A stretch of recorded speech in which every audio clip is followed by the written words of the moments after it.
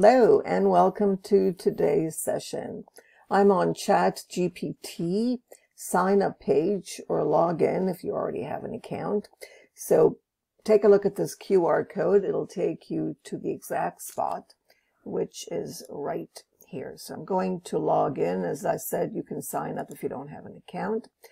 Add my service. In this case, it's continue with Google. And that's how easy it is. And then you get these pop-ups, get rid of that. You don't need that. And then you get all this information that you can do, but we're not looking at that. We're looking at a new chat. So let me check to make sure that, okay, that's the one. I should give it a name, otherwise it's confusing. I'm going to call this APA style. Now you can have other citations, but I'm looking at citing through APA style. Okay, so that's the title. Notice I've already started it with the following prompt. Cite chat GPT APA style. And this is what I got. I'm on Chrome and that's why you're seeing share prompt. You can do that. I've got another video on that if you're interested. When citing ChatGPT as a source in APA style, you would follow the general format for citing a web page. Now that's fine and you can see it right here. That's great.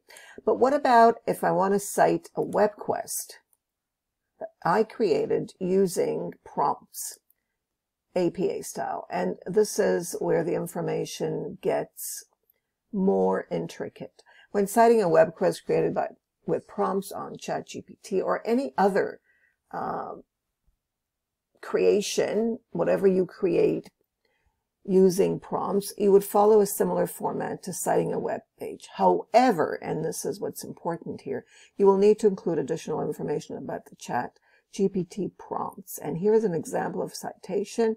You write the authors who created the web quest or the resource, whatever it happens to be. Title of the web quest, created using the prompts on ChatGPT version, the computer software, OpenAI. You will replace the authors or creators with the name of the persons. The URL will be the URL of your web quest because you've added the web quest somewhere, for example, on createwebquest.com. And here is an example with Smith.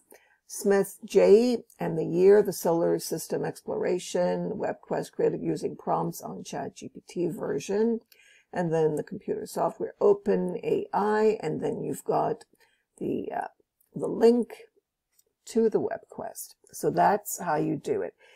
If you're interested in other prompts and other citations, simply generate whatever you're interested in using your ChatGPT. Let me take you to uh, a blog that was created about this very thing. All right, by APA Style. Okay, this is on their website. How to cite Chat GPT. Notice the date here, April 7, 2023 by Timothy McAdoo. And there you've got all the information that you need. I'll be sharing this in the chat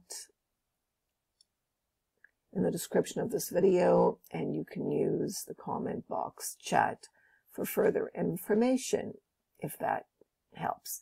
All right, so let's uh, scroll down. You can take a look at what's here and you'll get examples just as the chat GPT indicated, you can use it as a website as you would reference a website. Or if you're using other information, such as prompts, you'll be using that. And you've got all the details here. Thank you for watching and have a great day.